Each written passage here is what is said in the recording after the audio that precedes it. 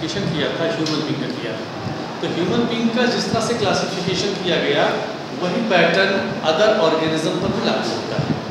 इसमें हम आपको बता दें कि प्रॉब्लम कहाँ से आ रही थी। लीनियस ने देखा क्या? कैरोलस लीनियस ने।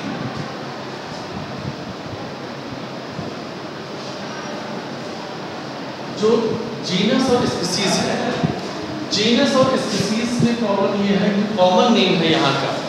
कॉमन नेम अलग अलग प्लेस का अलग अलग है। आप जैसे समझ लो, हमारे यहाँ पाया जाता है एक छोटा सा बर्ड है गौरैया। हम लोग कहते हैं उसको गौरैया। लेकिन अगर इंग्लैंड की भाषा में उसको देखा जाए तो स्पैरो बोला जाता है। और अगर इसको जर्मनी में कह दीजिए तो बर्डन कह देते हैं। जापान में सुजैन बोल देते हैं। तो हम देखते हैं कि एक ही एनिमल्स के अलग अलग कंट्री में अलग अलग नामों से जाना जाता है, जिससे कन्फ्यूज़न क्रिएट होता है। तो ये चीज़ लीनियस ने देखा। तो लीनियस ने कहा कि अगर इसी तरह से कन्फ्यूज़न क्रिएट होगा तो स्टडी करने में प्रॉब्लम्स आएँगी। तो क्यों ना हम जो ऑर्गेनिज्म डिस्कवर किए जा रहे हैं, या जो नॉलेज में आ रहे हैं प्लांट या एनिमल्स उनका जो नेमिंग की जाए, उनका जो नॉर्मल क्लेचर किया जाए, वो एक ही हो। इंटरनेशनल नेम हो साइंटिस्ट नेम हो। जो हर प्लेस पर उसी नाम से जाना जाए। हाँ ये जो है कॉमन लैंग्वेज ना हो मतलब आम भाषा ना रहे, लोग, आम भाषा जो लोकल है, नाम उसी से जाने। बट जो स्टडी करने वाले हैं, जो रिसर्च करने वाले हैं, जो साइंटिस्ट हैं, उन्हें वो साइंटिस्ट के नाम से उसे जाने। तो देखो कैरोलस लीनियस ने एक सिस्टम प्रोवाइड किया। उसका नाम था बाइनोमियल नॉमेनक्लेचर नॉमेनक्लेचर तो बाइनोमियल नॉमेनक्लेचर में जीनस और स्पीसीज के नाम को लेकर के इनका साइंटिफिक नेम बनाया गया। जैसे मैंने अभी बात की गोरैया या स्पैरो की। तो इसका जीनस और स्पीसीज अगर लिया जाए तो जीनस इसका होगा स्पैरो का पैसर डोमेस्टिका तो देखो, यहाँ पर जीनस और ये स्पीसीज इसको आप जीनस कह लीजिए जेनरिक नेम और ये स्पीसीज या स्पेसिफिक नेम तो यहाँ पर बाइनोमियल नोमेनक्लेचर का सेंस ये है कि हम जीनस और स्पीसीज जेनरिक और स्पेसिफिक नेम को लेकर के साइंटिफिक नेम बनाएँगे। और इसी नेम से हर एक प्लेस पर, हर एक कंट्री में इसी नाम से जाना जाएगा। लोकल नेम जो भी है, वो अपना रहेगा, आम लैंग्वेज लेकिन साइंटिफिक नेम एक ही रहेगा। तो इसी तरह से इन्होंने एक कॉन्सेप्ट दे दिया बाइनोमियल नोमेनक्लेचर का। जैसे आप देखो ह्यूमन का है। ह्यूमन का जीनस हमने आपको बताया था जीनस होता है ह्यूमन का होमो और स्पीसीज होता है सैपियंस ठीक है?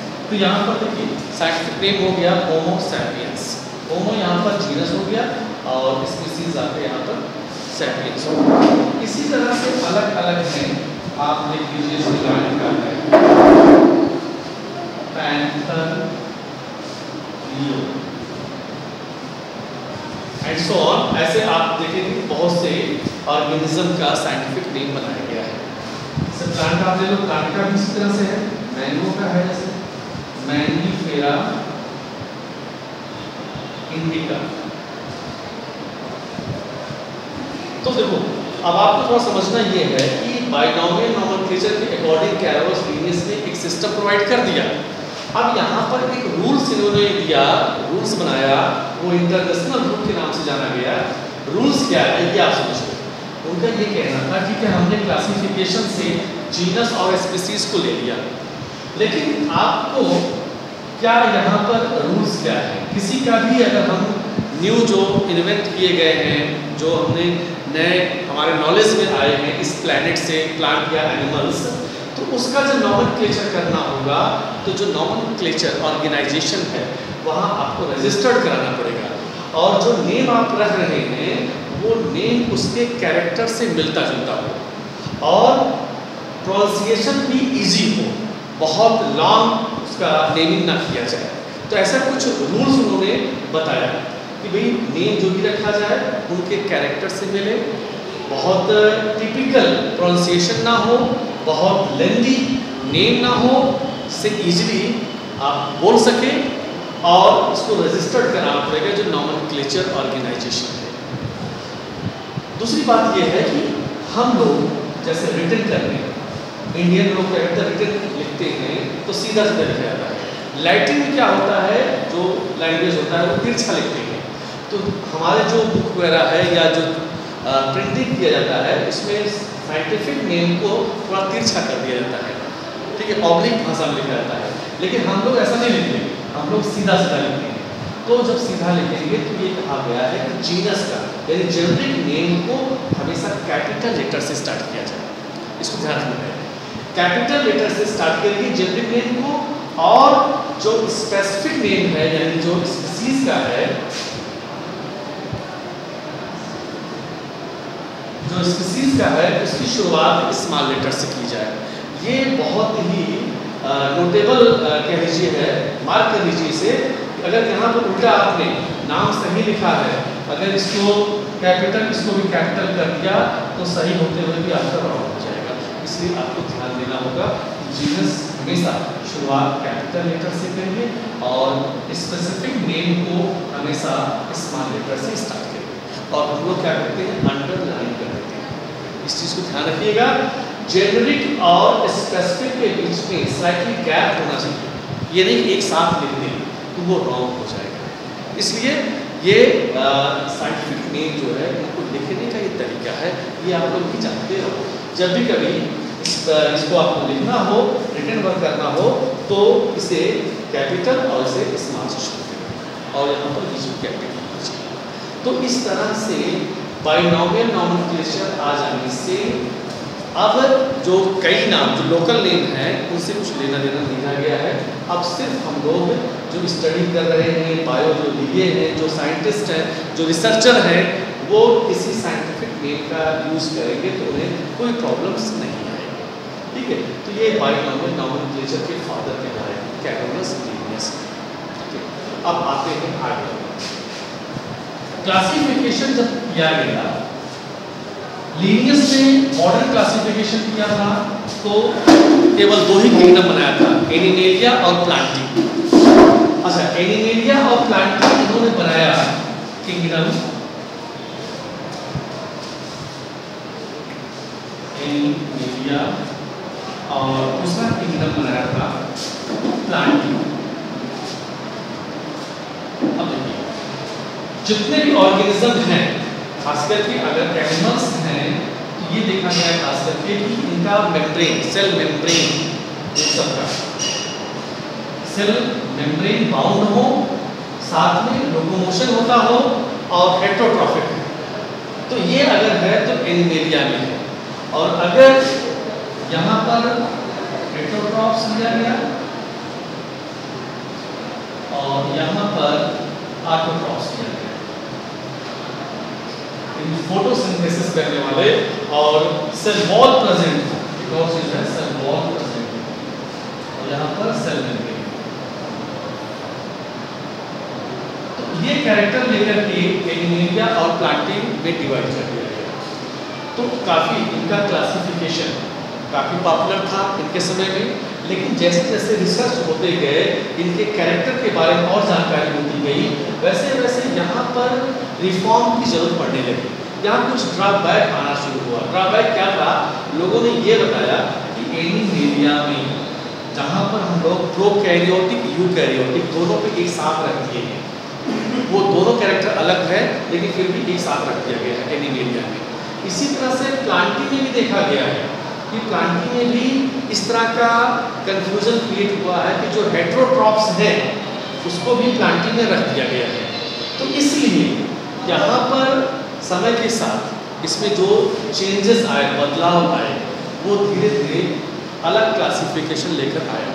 तो हम आपको लीनियस के बाद सीधे लेके चलते हैं आर एच विटेकर के साथ। आर एच विटेकर ने जो क्लासिफिकेशन दिया, वो सुटेबल था। हो सकता है कि फ्यूचर में उनमें भी कोई प्रॉब्लम्स आ जाए या कोई नई इन्वेंशन हो तो उसमें भी रिफॉर्म की ज़रूरत पड़ सकती है। लेकिन फ़िलहाल अभी जो आर एच विटेकर इन्होंने जो क्लासिफिकेशन दिया, इनका था फाइव किंगडम क्लासिफिकेशन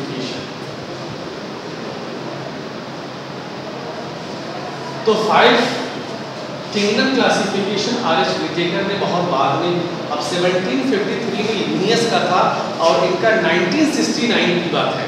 तो बहुत बाद में, इस समय तो साइंस में बहुत ज़्यादा इन्वेंशन हो चुका है। तो इनके अकॉर्डिंग विटिकर के अकॉर्डिंग इसमें जो पहला किंगडम बनाया गया, वो है मोनेरा फ़र्स्ट किंगडम ये रखे मोनेरा के तो मोनेरा का कैरेक्टर क्या बताया इन्होंने? मोनेरा का कैरेक्टर ये बताया कि इस किंगडम में जो भी ऑर्गेनिज्म इंक्लूड होगा, वो प्रोकैरियोट्स होगा। प्रोकैरियोटिक सेल होगा। प्रोकैरियोटिक सेल यूनिसेलुलर यूनिसेलुलर ये मेन कैरेक्टर उन्होंने दिया कि प्रोकैरियोटिक सेल्स यानी इसमें nucleus undeveloped nuclear membrane present नहीं होगा सेल ऑर्गेनल्स प्रेजेंट नहीं होंगे वेल डेवलप्ड और ये यूनिसेलुलर होगा। तो प्रो प्रोकैरियोट्स के जो एग्जांपल यानी मोनरा में इसको रखा गया है, वो है बैक्टीरिया तो बैक्टीरिया को अभी तक लीनियस जो थे, वो प्लांटी में रखे थे। लेकिन क्योंकि ये प्रो प्रोकैरियोट था, इसलिए यहाँ पर इक्वेशंस मार्क पर प्रोकैरियोट को यूकैरियोट के साथ रखा गया तो इसे अलग एक किंगडम दे दिया गया बना करके बैक्टीरिया और साइनोबैक्टीरिया ये प्रोकैरियोटिक सेल हैं दोनों और इन दोनों को रख दिया गया मोनेरा किंगडम में। साइनोबैक्टीरिया को एक और नाम है, आप जानते हो ब्लू ग्रीन हालाँकि ये ऑटोट्रॉप्स हैं। ये ऑटोट्रॉप्स हैं, लेकिन फिर भी इसको जो है हेट्रोट्रॉप्स के साथ भी रख दिया गया है। कुछ बैक्टीरिया भी ऑटोट्रॉप्स हैं, लेकिन केमो ऑटोट्रॉप्स हैं। यहाँ पर क्लोरोफिल नहीं होता है, लेकिन इसमें क्लोरोफिल प्रेजेंट होते हैं। आइए नेक्स्ट दूसरा किंगडम है प्रोटिस्टा। अब यहाँ आइए इस किंगडम में। इस किंगडम में यूनिसेलुलर तो यहाँ पर भी एक कैरेक्टर दिया गया है कि ऑर्गेनिज्म कैसा होना चाहिए? Unicellular single cell organism. जबकि यहाँ पर भी सिंगल सेल ऑर्गेनिज्म है, लेकिन इनके साथ लगा हुआ है यूकैरियोट्स। यूकैरियोटिक। अब यहाँ डिफरेंसेस आ गए। यूनिसेलुलर के साथ यहाँ प्रोकैरियोटिक लगा हुआ है, लेकिन यूनिसेलुलर के साथ यहाँ पर यूकैरियोटिक है। तो ये ध्यान देने वाली बात है कि यूकैरियोटिक यूनिसेलुलर होना चाहिए। ठीक है? आगे हम लोग देखते हैं कि यहाँ पर जो रखा गया है एनिमल्स वो है अमीबा। अभी एनिमेलिया में इसको रखा गया था लीडियस के अकॉर्डिंग तो अमीबा में अमीबा को एनिमेलिया में इसलिए रखा गया था क्योंकि यहाँ पर सेल मेम्ब्रेन प्रेजेंट होते हैं। इसके बाद यूबिलिना है। यूबिलिना को रखा गया है पैरामीशियम है। ये सब सिंगल सेल वाले एनिमल्स हैं और यूकैरियोट्स तो ऐसे एनिमल्स को प्रोटेस्टा में रख दिया गया। दो किंगडम हो गए। तीसरा किंगडम है थर्ड किंगडम है फंजाई। अब इसको भी लेकर के कंट्रोवर्सी बना हुआ था कि फंजाई को प्लांटी में लीनियस ने रखा था। रीजन क्या था? क्योंकि इसमें सेल वॉल प्रेजेंट थे। तो सेल वॉल की वजह से प्लांटी में रखा गया है लेकिन ये हेट्रोटॉप्स है। ध्यान रखिएगा फंगस क्या है? हेट्रोटॉप्स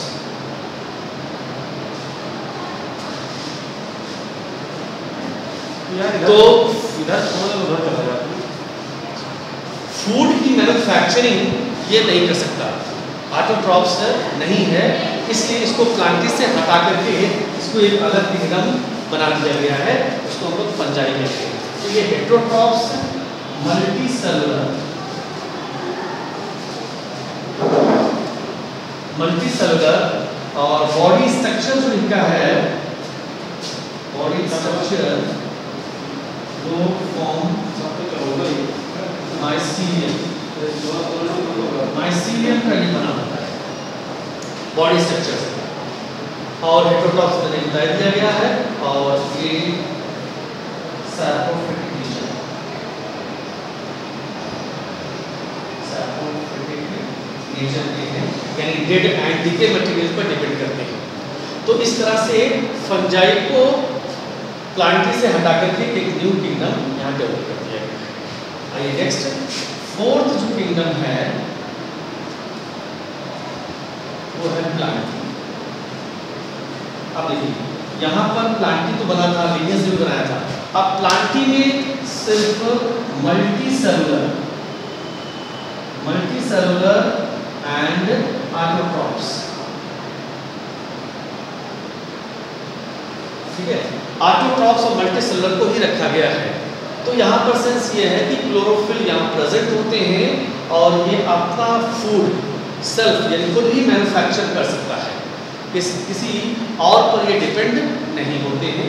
तो जितने भी मल्टी सेलुलर और आटोट्रॉप्स होंगे, वो सब के सब प्लांटिंग में रखे गए और पांचवा जो किंगडम था, वो है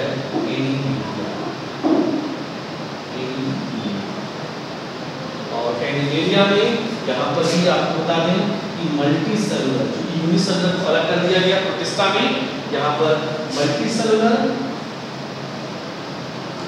एंड हेट्रोट्रॉप्स आप ये कह सकते हो कि यहाँ पर फ़ूड की मैन्युफैक्चरिंग ये खुद नहीं कर सकता है, बल्कि ये डायरेक्ट या इनडायरेक्ट प्लांट पर डिपेंड करते हैं।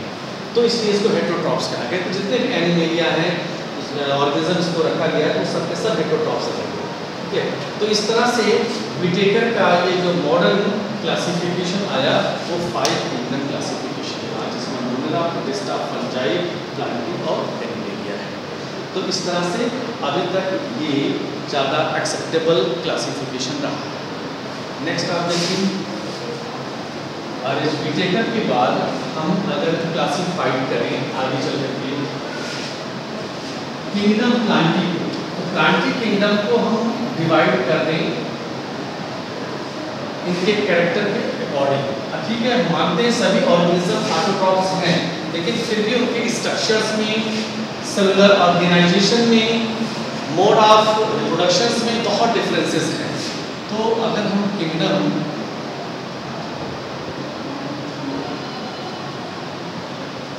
प्लांटी इसको आप डिवाइड करके दो पार्ट्स में एक है। क्रिप्टोगैम्स और दूसरा है फैनिलोगैम तो प्लांट्स को जितने भी किंगडम प्लांटिंग हैं, इनको हमने दो पार्ट्स में डिवाइड कर दिया। क्रिप्टोगैम्स और फैनिलोगैम्स क्रिप्टोगैम्स का यहाँ सेंस है non flowering non-flowering and seedless plant. और इसमें flowering and with seed plants. में डिवाइड कर दिया गया। भाई सीडलेस प्लांट हो गया। इसमें एम्ब्रियो का डेवलपमेंट नहीं होता है, लेकिन यहाँ पर एम्ब्रियो और सीड का फॉर्मेशन होता है। तो इसके अकॉर्डिंग दो पार्ट्स होते हैं अब क्रिप्टोगैम्स को इसके अकॉर्डिंग यहाँ पर देखते हैं। और भी क्लासिफिकेशन हो सकता है इसका। क्रिप्टोगैम्स में कौन कौन से सीडलेस आ जाएँगे? इसमें आ जाएगा पहला है जो फाइलम है या डिवीज़न हालाँकि एनिमल में फाइलम मिलते हैं, यहाँ पर डिवीज़न कहते हैं प्लांट में। तो इसका डिवीज़न अगर किया जाए तो थैलोफाइटा सेकेंड ब्रायोफाइटा और थर्ड टेरिडोफाइटा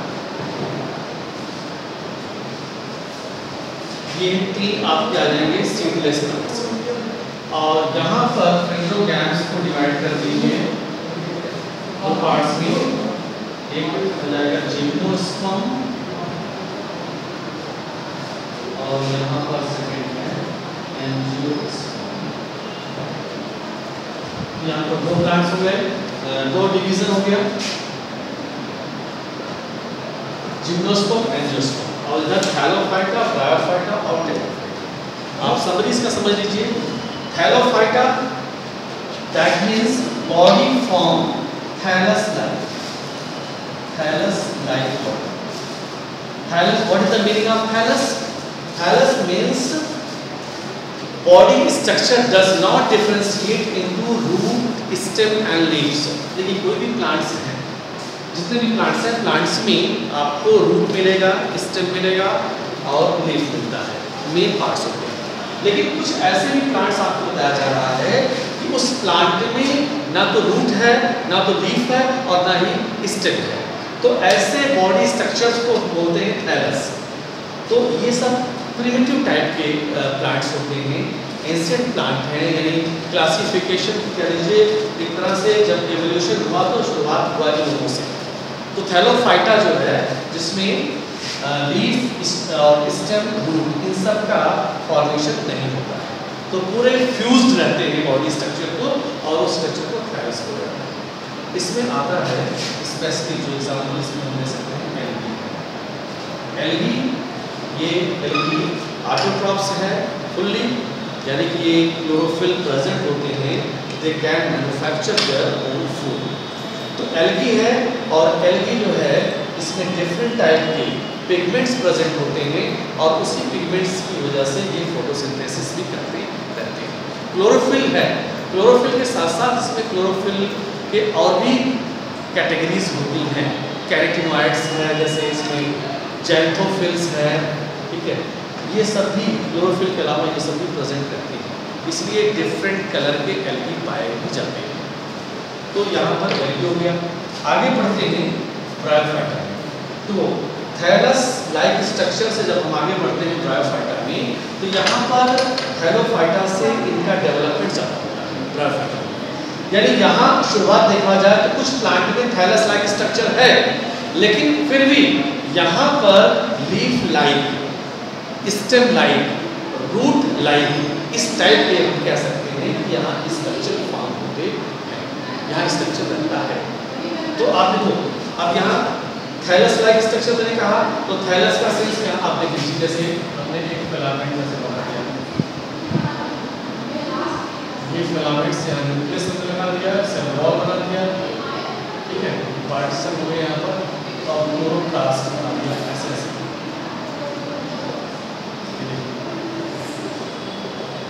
अब एक फिलामेंटस स्ट्रक्चर है ये। अब यहाँ पर ये एल्गी कहलाएगा लेकिन ये इसमें हम रूट क्या है स्टेम क्या है लीफ क्या है, हम बता नहीं सकते। तो ऐसी ही बॉडी को हम नाम देते हैं थैलस उसी तरह से ब्रायोफाइटा में भी स्ट्रक्चर बनते हैं। जैसे इसमें रिक्सिया है एग्ज़ाम्पल है इसका। रिक्सिया अब रिक्सिया का जो बॉडी स्ट्रक्चर है टाइप है। जस्ट लाइक इन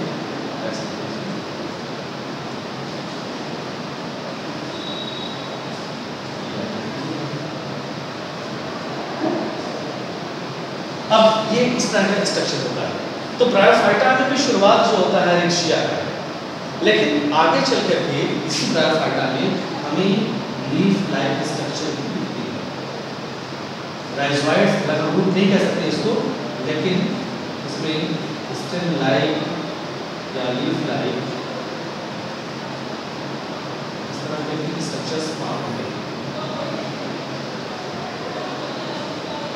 तो अब देखो अब यहाँ पर हम देखने को लगा लीफ है रूट है स्टेम है लेकिन रियल में नहीं रहता ये हम कह सकते हैं लीफ लाइन इसका नाम है लीफ लाइन ठीक है के क्योंकि अभी तक इन सब में टिश्यू का फॉर्मेशन कंडक्टिंग टिश्यू का फॉर्मेशन नहीं हो पाता है। तो इसकी वजह से हम इसको जो है ट्रू लीफ या ट्रू रूट्स ट्रू स्टेम नहीं कहते। तो इस तरह से ब्रायोफाइटा की शुरुआत तो होती है। इनसे ज़्यादा डेवलप होता है। वाटर चाहिए प्रोडक्शन के इसको भी दोनों को। और ये वाटर में भी रहते हैं एक्वेटिक भी हैं और टेस्टियल भी होते हैं। और टेस्टियल इसलिए भी हैं क्योंकि जहाँ पर भी वेट है, नमी है शेडी प्लेसेस हैं, वहाँ पर ये ज़्यादा ग्रो करते हैं। या रेनी वाटर जहाँ पर भी ड्रेनेज वगैरह है, वहाँ पर ही डेवलप करते हैं। तो वैसे ही इसको ब्रायोफाइटा को एम्फीबियंस प्लांट भी कहते हैं। प्लांट किंगडम का एम्फीबियंस प्लांट भी बोला जाता है। तो रिप्रोडक्शन के लिए वाटर यहाँ पर भी मस्ट है। बिना वाटर के रिप्रोडक्शन नहीं हो सकता है। आइए नेक्स्ट ब्रायोफाइटा से ज़्यादा डेवलप आपका टेडोफाइटा है। टेडोफाइटा है तो ये क्रिप्टोगैम्स ही, लेकिन इसमें वैस्कुलर टिश्यू का फॉर्मेशन हो जाता है। वैस्कुलर यानी जाइलम और फ्लोएम जाइलम एंड फ्लोएम का फॉर्मेशन होता है। टेडोफाइटा अभी तक थैलोफाइटा और ब्रायोफाइटा में नहीं हुआ था, लेकिन यहाँ पर डेवलप हो जाता है। अब देखिए वैस्कुलर टिश्यू आ जाने से टेडोफाइटा एडवांस हो जाता है यहाँ पर। और इसमें लीफ स्टेम और रूट इनका भी डेवलपमेंट हो सकता है। अब यहाँ पर हम ये कह सकते हैं इस प्लांट में रूट स्टेम और लीफ डेवलप हो चुका है।